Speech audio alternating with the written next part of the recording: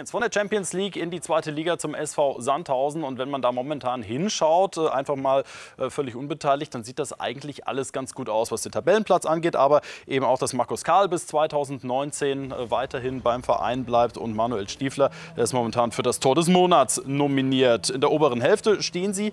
Allerdings muss man auch sagen, dass der Schein ein bisschen trügt äh, bei den Hartwäldern, denn äh, in, in, den vergangenen sechs Spielen, da gab es keinen Sieg mehr. Der Abstand auf die Abstiegszone, der ist auch geschrumpft auf vier Punkte. Also wahnsinnig spannend ist es sowieso momentan in der Liga, heißt aber auch für den SVS dringend wieder siegen um nach einer starken Saison dann nicht doch noch irgendwie in den Keller zu rutschen. Also am Wochenende, da geht es dann zum punktgleichen. MSV Duisburg, der hat ebenfalls 38 Zähler auf dem Konto.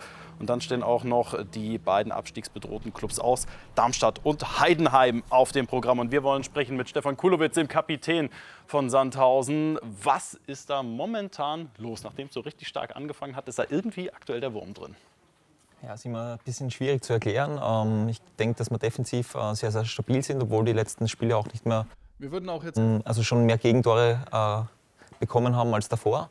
Aber unser Hauptproblem einfach die Saison ist, dass wir unsere Chancen, die wir uns äh, doch auch erspielen, ist ja nicht so, dass wir uns keine Chancen kreieren, dass wir die einfach im Moment nicht nutzen. Und von daher ist in so einer engen Liga und in so engen Spielen ähm, dann der Effektivität geschuldet, dass wir im Moment leider nicht ganz die Ergebnisse erzielen können, die wir uns erhoffen. Defensive haben Sie angesprochen. Wenn ich jetzt die vergangenen sechs Spiele rekapituliere, korrigieren Sie mich, wenn ich falsch liege, aber ich glaube, da war nur das vierte Spiel mit dem äh, 0 zu 0 ähm, ohne Gegentor und ansonsten hat es trotzdem äh, hinten geklingelt. Also klar, irgendwie muss man ja zu Null spielen, äh, im Idealfall, um mindestens einen Punkt zu kriegen. Ja, vor allem wenn man äh, wirklich äh, doch so wenig Ge äh, Tore schießt vorne wie wir, dann bist du natürlich abhängig davon, dass hinten oft die Null steht. Das war leider in letzter Zeit äh, nicht so oft der Fall. Gegen Bochum haben wir sogar für unsere Verhältnisse sehr viele Gegentore bekommen mit drei Stück äh, zum ersten Mal in dieser Saison. Und äh, da müssen wir schauen, dass wir für die letzten fünf Spiele das wieder zu unserem Trumpf machen. Hat sich denn aktuell in der Arbeit, in der Trainingsarbeit etwas verändert?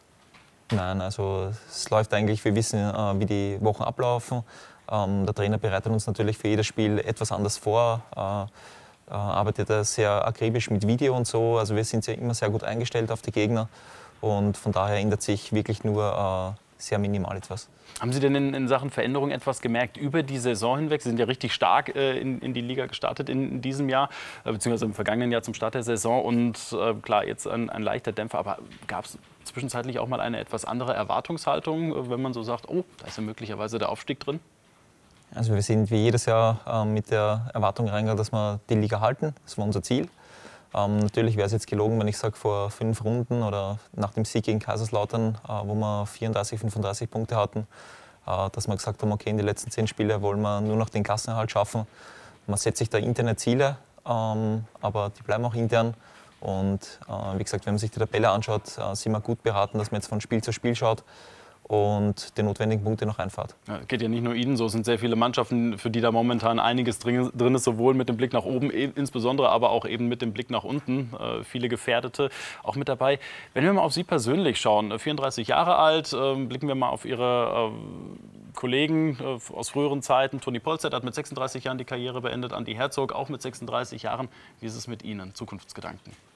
Ja, ich äh, habe jetzt vor kurzem noch mal ein Jahr verlängert, äh, werde dann auch nächstes Jahr im Sommer ähm, 36 sein. Ich hoffe, dass dann noch nicht vorbei ist wie bei meinen äh, erwähnten Kollegen gerade. Und, aber im Fußball kann es schnell gehen. Also ich äh, bin jetzt nicht irgendwie vermessen, um zu sagen, ich möchte jetzt noch drei, vier Jahre unbedingt spielen. Äh, es kann sehr schnell gehen, man weiß nicht, was, äh, was sich gesundheitlich tut und so. Und ähm, das Spiel wird immer dynamischer, schneller, die jungen Spieler drücken nach.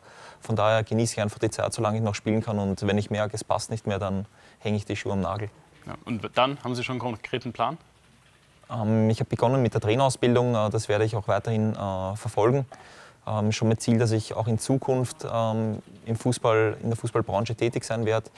Aber es sind auch begrenzte Plätze, also man muss sich schon ein bisschen umschauen. Es wäre jetzt äh, vielleicht falsch, nur auf ein Pferd zu setzen.